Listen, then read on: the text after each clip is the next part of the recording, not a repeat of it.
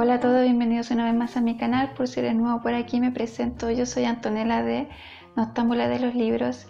El día de hoy quiero compartir con ustedes una novela cuya temática está muy relacionada con la festividad que celebramos durante este mes de diciembre. Me refiero a Navidades Trágicas de la escritora Agatha Christie.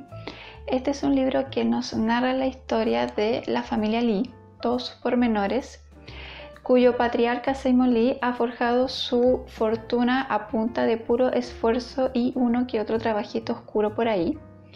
Él amasó toda su fortuna en África del Sur con la extracción de los diamantes. Sin embargo, esta persona es descrita con un carácter bastante extraño, cruel, muy vengativo y orgulloso. Sus familiares más cercanos suelen ser las víctimas de sus crueles bromas y además comentarios muy fuera de lugar que suelen herirlos profundamente. Alfred Lee es su primogénito y él junto a su esposa han tenido que hacerse cargo de su padre ya que se encuentra muy enfermo. Sin embargo, Lidia, su esposa de Alfred, eh, no disimula su disgusto y su desprecio hacia esta persona ya que él considera que Seymour Lee es un hombre, un anciano eh, despreciable, una persona cruel y abusadora para con los demás. Por otra parte, también tenemos a quien es descrito como la oveja negra de la familia, me refiero a Harry Lee, ya que él es descrito como una persona de espíritu libre y rebelde y es el que más disgusto ha provocado a sus familiares y tiene una rivalidad con su hermano Alfred. Por otra parte tenemos a David, quien es el más sensible de la familia y le guarda un gran rencor hacia su padre porque aún él recuerda los maltratos que le daba a su madre, a la difunta esposa del señor Lee así que le guarda un cierto rencor. Por otra parte, la esposa de David siempre ha tenido que jugar este rol como de madre para poder contenerlo de todas estas crueles bromas que también le hace su padre.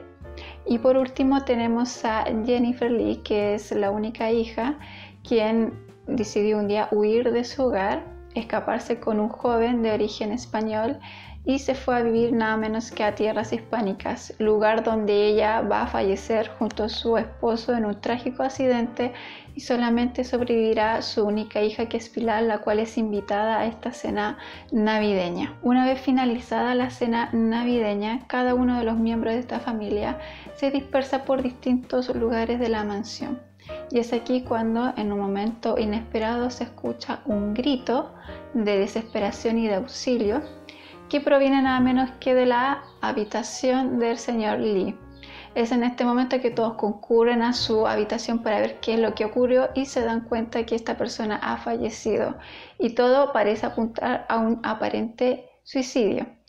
Sin embargo, una vez más vemos como nuestro querido héroe, que es Hércules Poirot, hace su entrada con su sagaz inteligencia para prestar sus servicios y intentar resolver este crimen. Navidades Trágica también nos habla de una familia de la clase burguesa que no está exenta de los pormenores, de las desgracias, de las desdichas, de los problemas que tiene toda familia y que no por el hecho de tener dinero está exento de ellos. Por otro lado, la novela tiene, a mi parecer, un buen desarrollo de los personajes, sobre todo Seymour Lee, que es una persona descrita con un carácter muy fuerte, aventurero y bastante vengativo.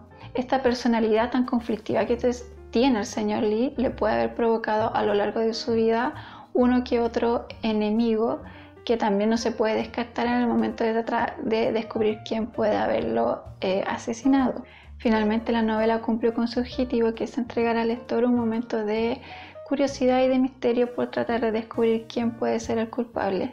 Además está ambientada en una fecha que es nada menos que la Navidad, que es una época en la cual se suele considerar un momento de paz, amor, recogimiento, de compartir con tus seres queridos, tus seres amados, pero aquí podemos apreciar cómo la autora nos muestra que esta festividad, que precisamente tiene todos estos conceptos de amor y paz, se transforman en un momento a otro nada más que en intranquilidad y odio. Todo esto por rencores de, una familia que guarda muchos secretos y muchas rencillas en el pasado y que no han sabido solucionar. De todas maneras, nos deja muy en claro que la comunicación y el respeto son la clave para poder solucionar estos problemas. Y ese es uno de los temas que me gustó y cómo lo abordó la, escritora, cómo se centra en esta festividad que es Navidad, porque muchos de repente hemos pasado por una cena navideña que muchas veces te encuentras con familiares, pero que termina siendo todo menos, que, menos paz y amor. Creo que en eso eh, me gusta cómo lo, lo, toma, cómo toma esa idea, ese concepto la escritora y lo desarrolla. Obviamente en este, en este caso hay un crimen porque es el tema que ella trabaja. De todas maneras, yo encontré una novela muy bien escrita. Como ya sabemos, ella suele ocupar esta estructura de tres partes, como ya he descrito en otros videos, donde tenemos primero la presentación de los personajes, el primer, la primera coyuntura, el primer nudo que es el crimen, luego el desarrollo de la historia, en este caso conocemos un poco mejor a cada uno de los personajes, los interrogatorios y finalmente ya la tercera parte que es finalmente descubrir quién fue el culpable. Bueno, eso ha sido todo por el día de hoy. Si te gustó la novela, déjame en los comentarios si conocías este libro de Agatha Christie, si has leído algún libro de ella, qué libro deseas o recomiendas para leer durante estas fechas navideñas. Si te gusta el contenido del canal, puedes suscribirte, darle clic a la campanita o de seguirme en mis redes sociales y en mi blog de No de los libros. Como siempre les dejaré todo aquí abajito en los links, abajito aquí en la caja de contenidos por si te animas a seguirme. Eso ha sido todo por el día de hoy. Nos vemos la próxima semana en una nueva reseña. Hasta entonces, bye.